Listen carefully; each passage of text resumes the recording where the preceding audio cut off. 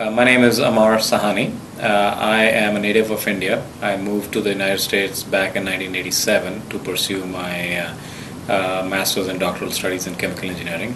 And from there onwards, I uh, went into the startup world in medical devices. And there have been several companies that I've been helped either start up or have run. the first one was Focal. this was back in 1992. I left there to start up uh, Confluent Surgical, which uh, created the world's first dural sealant. Uh, several companies have sprung out uh, from there. I'm currently running two companies. One of them is Ocular Therapeutix, and Ocular is focusing on unmet medical needs in ophthalmology. And the second company is a company called Augmenix. And Augmenix is in Waltham, Massachusetts. Uh, it is focused in the radiation oncology space and helping create uh, solutions to minimize radiation damage to organs that are adjacent to target organs. So I've never walked into an interview and not been successful.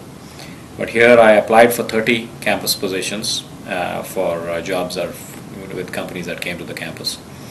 And 29 of them sent me a rejection letter. In the last one, uh, when I went for the interview, they realized that I didn't have a green card and they rejected me without interviewing me further.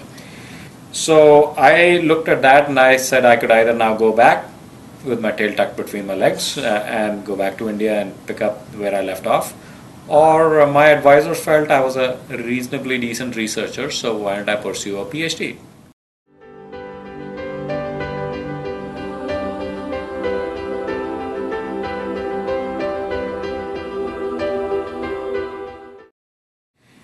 I think it is just a question of if you have not much to lose, you take more risk and you try harder. And it is a selection bias of some of the people who have left those countries have already got a greater desire to want to succeed.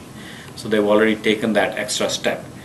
If we can transmit that message at large, so it's not just an immigrant message, but it is a message to all Americans, I think we can make this country and sustain this country in greatness.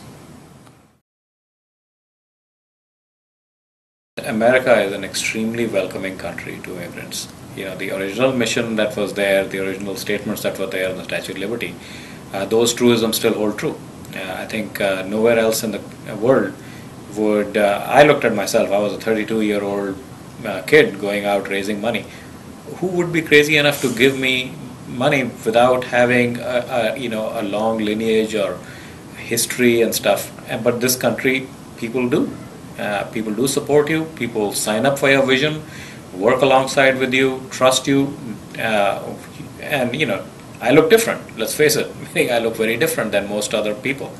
But uh, even with that, um, it was never an impediment. Uh, it was a warm, welcoming environment, and I feel very strongly that this is this is my homeland now.